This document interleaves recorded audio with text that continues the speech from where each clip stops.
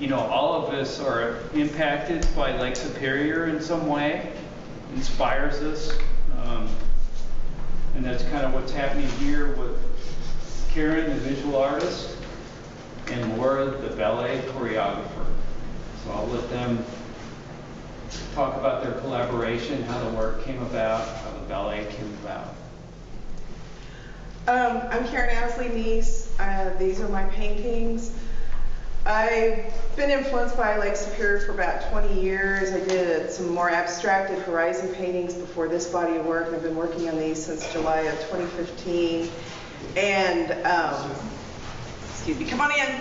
Um, and this, as I built up the body of work, I, I was just, I kept playing with the motion of the waves and a year and a half ago, Laura and I were at dinner, and I just said I would really love to have somebody else interpret my work as a dancer. She was talking about her work, and, and I was just thinking that it, their motion is so beautiful and fluid, it would be a natural fit. And then for a while, I don't know, it was two or three months later, you, I saw you going in your house, and you said you were thinking about that or something, and so um, and then she applied for an ARAC grant and received it. And um, I'll just, what I like, what was really amazing to me was when she came over to my studio, it felt like in about, I don't know, three minutes, she had 90% of her dance figured out. And when you talk about, um, this was the first painting that was full the size of this. And then uh, I have three smaller versions of these, one of which is there. And I, we just started talking, and then she said, I don't know, how did it become a day in the life of the lake, kind of? And I think we were starting to discuss what paintings would work. Um, and when I went over to her studio and just looked at all of her body of work, um, there was her, I can I call it your flagship? Yeah, my flagship. Um, yeah. Kind of her flagship piece that um, she was really interested in using, and then looking at all of the other ones really just um, allowed us to just talk about which ones might work. And I wanted, as a choreographer, I look for a story to tell. And so when I was looking at her paintings, I think in the back of my mind, trying to think what type of story we could tell with all of the different paintings. And so um, these ones stood out to me as very different and kind of stood out to me in kind of their, their sequencing, I guess you could say. So this one, um, we started with just throwing out different words and trying to figure out how and what this might look like. So this was kind of dawn. Um, this one had a lot of strength to me and kind of that midday, the big arcing wave. Um, so strength and then more of an evening and then kind of to finish off the day. Um, so that's how it started. The piece didn't end up being in that kind of the day cycling through. It kind of morphed into something a little bit different.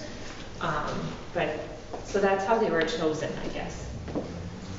So when I went to the first rehearsal that you invited me to, you were working on um, this piece. I think Charles the dancer and um, uh, Sarah, you you were working on this, but it was where you were lifting her up and then kind of letting her free fall. But I knew it was that just from I could tell, Mm-hmm. you know, and then I could tell that you were doing the little when they were running back and forth, and I found that fascinating that with just such a little amount of information of your dance, I could tell which painting it was. So, can you talk about how you how'd you do that? It, uh, well, I don't know if I can succinctly tell you exactly how I did that, but I think a lot of it started with the paintings themselves and then really interpreting the music or finding the music that matched each individual painting. So that was the first piece of the puzzle to me after deciding which paintings to use. Once, um, so maybe can I tell that story first? Sure. So Karen put these upstairs in her open space upstairs. And one afternoon, I just sat with headphones and flipped through all of the music that I was kind of inspired by to begin with, that I had an idea of that sounded like a little bit like waves. So I just sat and I just listened and looked at the paintings and tried to find which ones really spoke to me um, as it related to each individual piece. So with the music, then I got into the studio and started working. Um, also at home, thinking about it in my head, kind of what I was picturing, how I was envisioning it.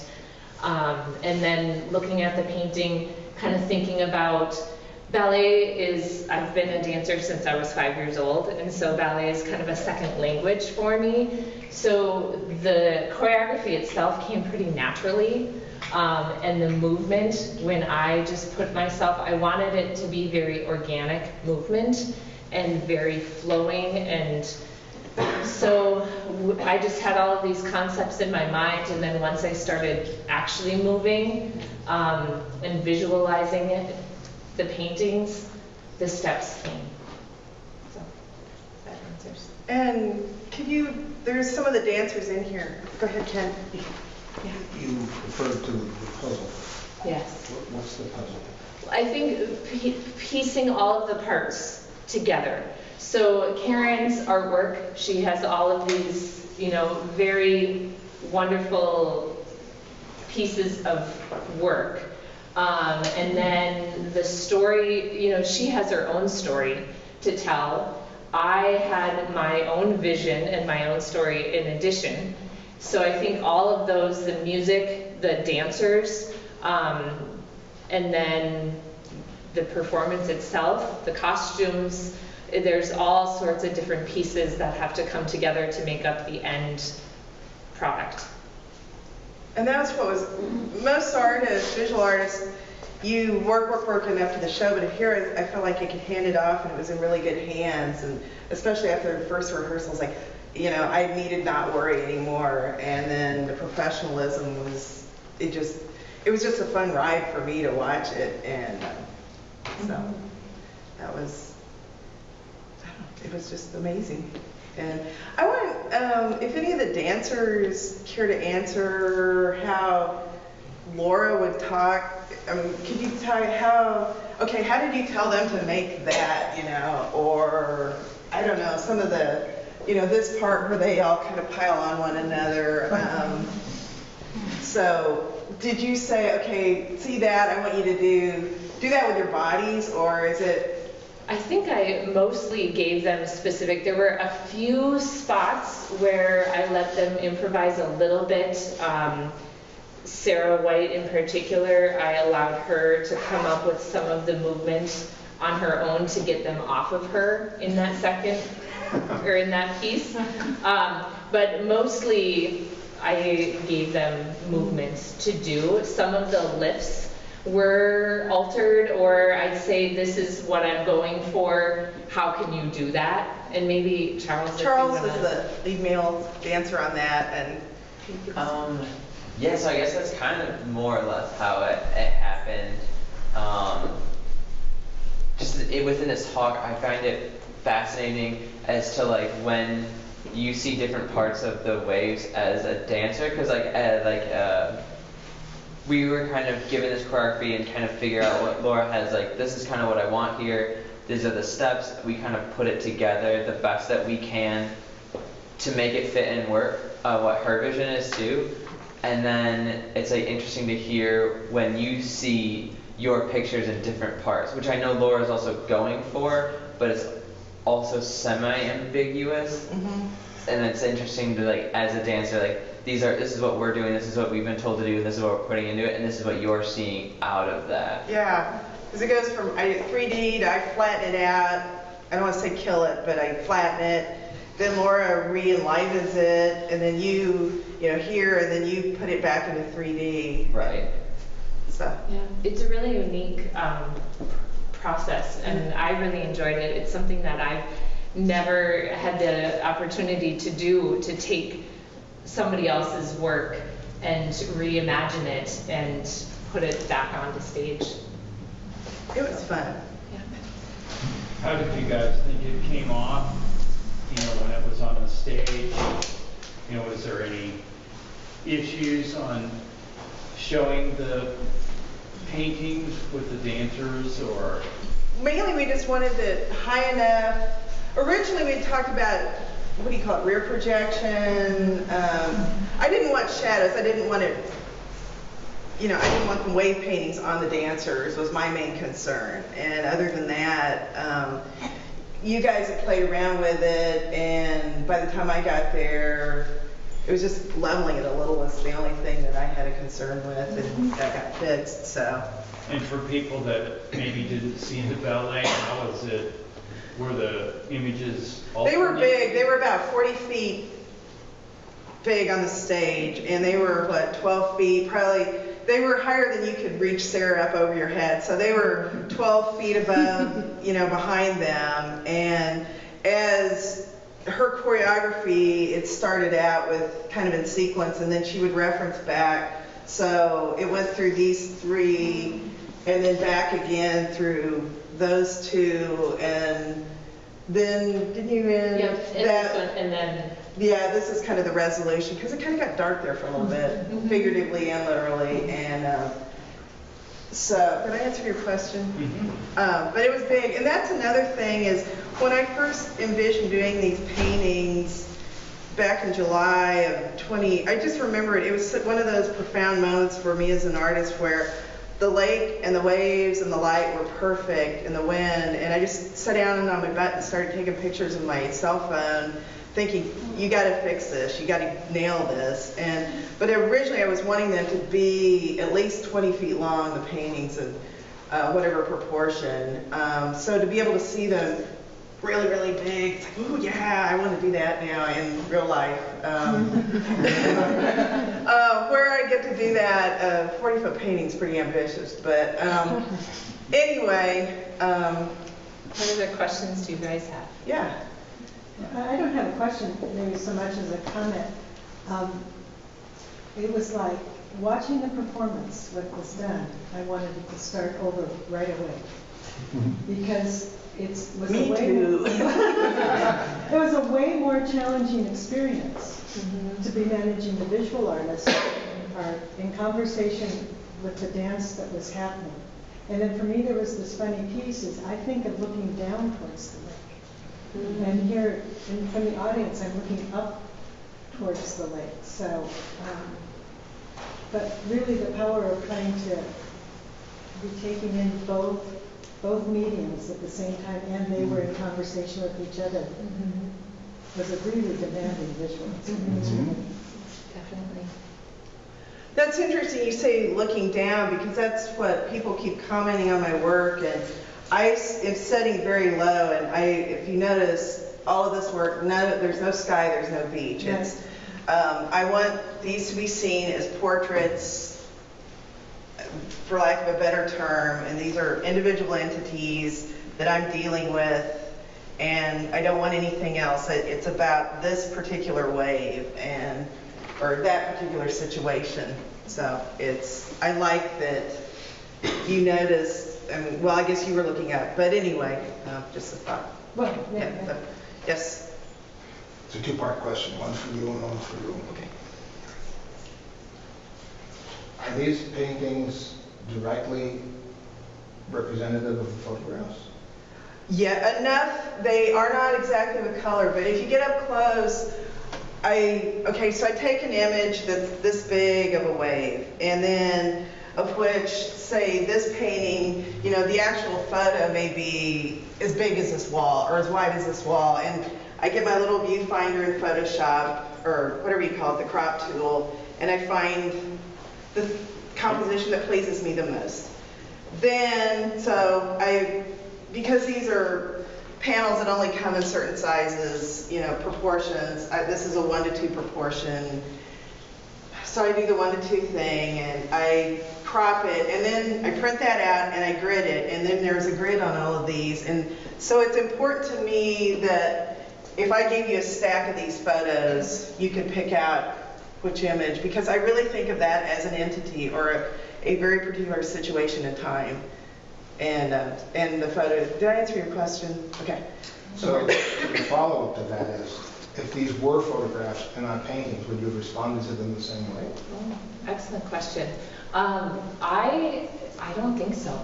I mean, well, I think there might have, it, that's a, that's a, I should think about that for a minute. I think that's a challenging question to answer because I don't know. But I do think that the, the size of these and the texture of them is definitely more, um, gripping and wanting to do something with than just a photograph. Um,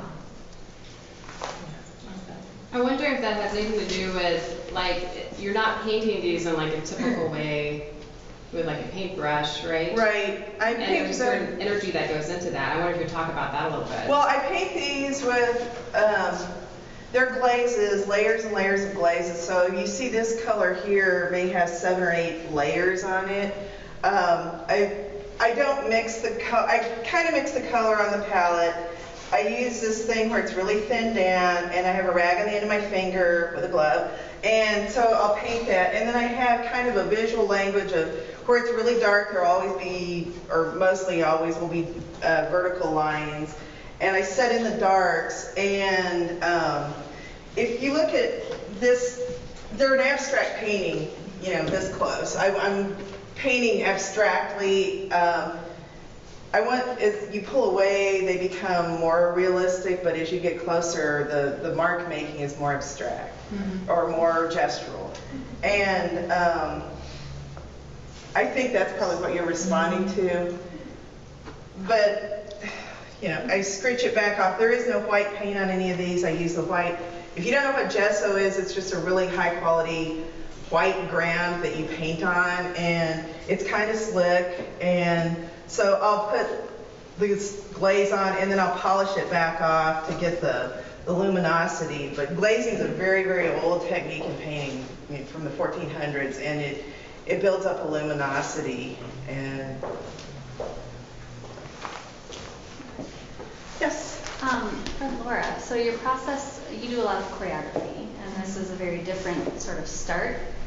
Can you talk to us a little bit about um, how things changed for you in the choreographic process with starting with a different idea, like starting from a painting as opposed to starting with a song or something like that? Um, I think this just, it gave me more maybe language or more, you know, when I would look at a painting and Karen would talk about the white and kind of, she would do that, kept doing this motion of the waves coming onto shore. And so that gave me kind of a vocabulary of dance steps. So I started with that and thinking about, all right, what type of movement can I get that will make the dancers move in that type of way to symbolize those waves. So it, I guess I started with a vocabulary already that was a little bit predetermined, even though I, I mean, it's still my own vocabulary, does that make sense? Yeah. Different accent on your vocab. Yeah, here you go. I have a question um, for both of you, kind of. Uh, there's a lot of words like about communication that keep coming up, like language, vocabulary, like you just used. I'm wondering what concerns you had going into the project together um, about communication you may have had, and maybe some what are the what were the challenges um, in communication there because you are speaking such different like artistic languages. I didn't have any fear that you would mess it up or anything. um, and then after went, well, she came, the, it was probably the same day you said you went upstairs, and she was talking about this painting. Um, and, you know, has kind of, everybody calls that a scary painting. And, um, I don't know, she just, she, I could tell that she was getting the emotion that I hoped I was conveying or depicting. So after that, I had no fear. It was just, I, you know, I, the technical thing, could it be projected brightly enough that it didn't look like this muddy thing? And just technical stuff, but that all, I had no fear after not very long, so it was just fun after that. I think I might have been a little more nervous um, to do her, or to um, choreograph something that would do her paintings justice, um, and that she would be happy with them, um, and happy with the end, end product. I, but I think we, we talked, we had a lot of communication going throughout the whole process and kind of checking in. Um, I invited Karen to a couple of rehearsals, and really Karen was great at saying, this is your, your deal, you're interpreting it. Um, so I I started crying at the first one, she nailed it so well. I was kind of like, trying not to look, whatever, but. yeah. Karen, can you say what it was she nailed? Um, well, like this thing, so, you know, that was, I mean, I said I don't paint the beach. Technically, this is, you know, really shallow water, but it's still water. It's not just stones. But just the, the motion, and I'm not at all a dancer. Some dancer can, um, you know, you would do this thing that was so elegant and, um, just the timing. There's a one part, there will be video of this eventually, but where I just call it piling on the, the main female dancer. And, you know, she goes and then, um, there was just, it just worked. If, I felt like she was conveying in another form, she was translating my work to dance. And did that answer your question? I- I'm just interested in your thinking, of each of you, your thinking on this, because I didn't see the performance, and I have lots of questions about scale and abstraction, Uh-huh. and whether you were, whether you're responding to these pieces, or you're responding to the pieces that big, or you're responding to the idea of water, and it just happened to be layered on this. I think, and well, for me, to answer that question, I think there are so many layers. It's not just one thing. So I didn't just look at like this one wave and say, okay, I'm going to try to nail that wave. I think it was the big picture itself. Um, for those of you who did see the piece, um, you know, I really tried to create some sort of a story um, a little bit. And so there were many different levels, the large, big picture, but then also the mood of each one individually, and then the waves, the specific details. So I'd say, yeah, on multiple levels for me. I got I, one observation and one question. Um, watching the piece, what I was really struck by, because it was just a week after we had that horrendous storm, and that one section in the dance where it was just like the power of the waves. It just really, to me, kind of brought back what had just happened um, with the lake, and I thought that was really fascinating. But the other question is, how did you come up with the title? Ah, I Yeah. think somebody was going to ask Oh, that. okay. The So. title is curl, uncurl, and dot, dot, dot. So I threw around, and I'm, I much prefer to speak on through dance. I'm not a public speaker, and I'm not a writer, and so coming up with like the title was really challenging for me. I think it took me a long time and a lot of brainstorming. Um, I kept going nagging her, I over. like, we need, I've got three emails, like, we need this, we need this. Um, and so I wanted, I mean, the, the words curl, you know, are very symbolic of a wave and all of the curls that take place. But then also, there are times in the piece where there's an uncurling, um, and you can take that meaning to be so many other things as well. Um, curling and uncurling just in life in general. So kind of taking it away from the waves and more I don't know what the word is, holistically speaking. And then I had a lot of words that I was thinking of putting at the end of that, curl, uncurl, and, but if you saw the piece, it also leaves you wanting more, and it leaves you without a succinct ending. And so it's unfinished. Um, and that's how waves are as well. They never stop moving, they're continuous. And um, so, yeah. I have a couple of questions. One is, um, how long was the piece? I was unable to make it. Um, How long was the piece overall? It was seven minutes. And then, will there be a repeat performance anywhere? Or is there a video option? Robert? Artistic director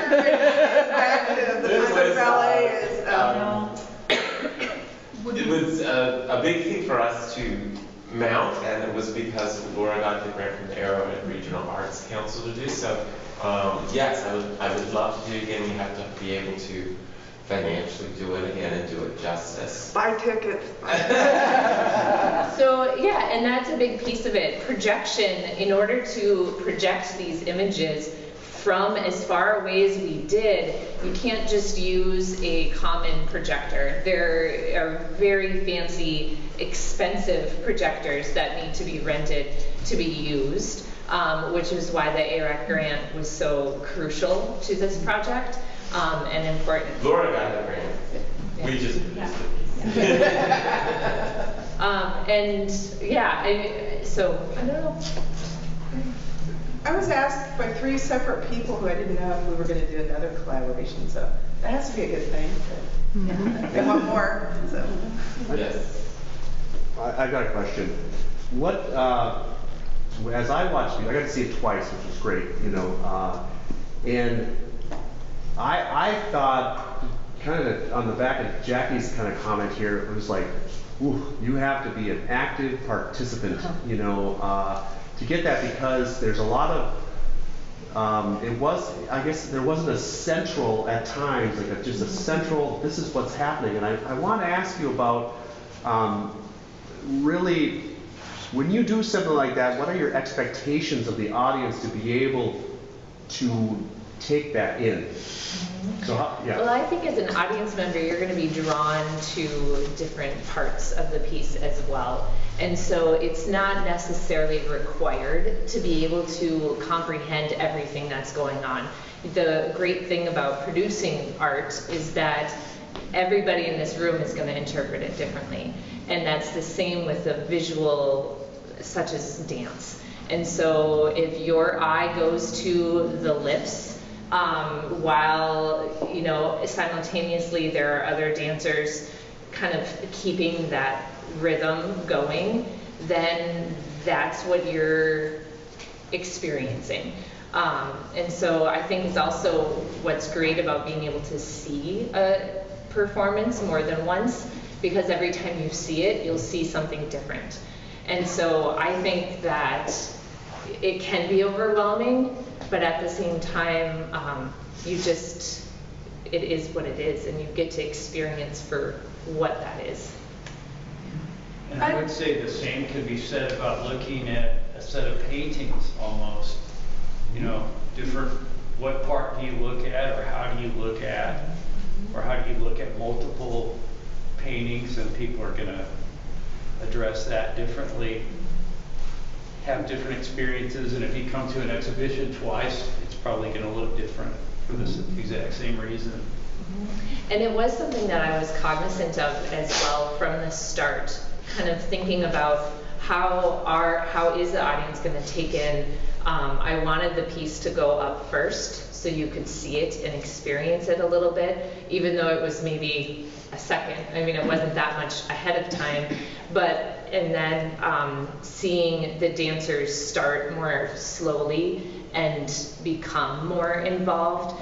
Also, with a lot of these waves, you know, a lot is happening in the painting, and I wanted to portray that as well. Um, there was one part I was fortunate enough to see the piece up in Silver Bay on stage, and after seeing that on stage, I changed a little bit of it because I felt like it was too busy. Um, and so I kind of dialed back one section a little bit. So. One thing I'd like to add is Robert, you, well, you put your choreography of the Rite of Spring, and it was just kind of a brilliant bookends of these natural forces. Uh, I don't know if you know about the Rite of Spring, but it's wild. And, uh, you know, it caused a riot at its first. Google it, and it's pretty fascinating. But, um, it, they both seem like really challenging dances. Were they more challenging than some? I mean, physically you've been a lot in both of them, kind of. And um, so I just was, I thought that seemed like a good. I'm not a dancer, you can tell, but um, it seemed like a good bookends for the evening. I'm glad you thought that. That's what put you on the spot. Programming a, a, a multi-repertoire uh, Yeah. performance is, is, is challenging as well, you know, artistically, and uh, I that's what I felt, you know. I mean, two natural forces at either end of the performance with, with beautiful pieces in, in, in you know interspersed with that, each with its different emotions. So I think you, it took you on a, a really great trip, a really great ride, and I think it was very, uh, for me as a director and, and uh, artistic director, to start with this piece was was the perfect thing to take to start the, the journey with, with this work and your work. How did the costumes come about? So the costumes, it's an interesting story. In my mind, I had something very different it visioned in my mind. I was really looking for um, a longer skirt that when their legs would go up would really arc and kind of be the waves. And I just wasn't finding that. And so I had to let that go. And the minute I let that kind of vision in my mind go, um, I came across these um, kind of short unitards that were the perfect color. They were kind of a watercolor effect.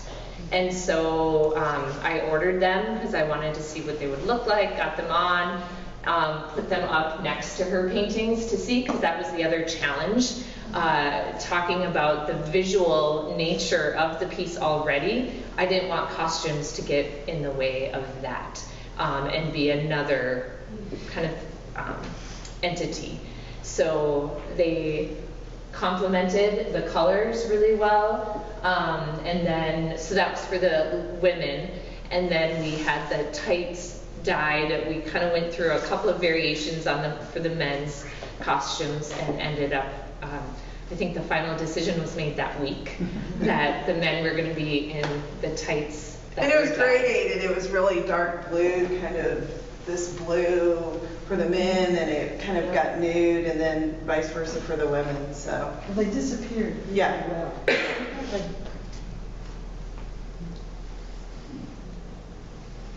So when Great, you mount thank it you. again, show it twice, back to back. I don't know the dancers would like. it. yeah, I didn't realize. I mean, I know how athletic, but I didn't realize when you run backstage, there's the big thing of water and all the bananas. And Joe used to ride in, you know, whatever and. Um, bike rides, and it looked like a bike ride table with all the food to refuel the dancers, and and then they're, you're breathing so hard. Yes, you're. You, It's a lot of work. it's a lot of work, so they might have to have a second staff or, you know. But, Well, thank you all. yeah, thank you.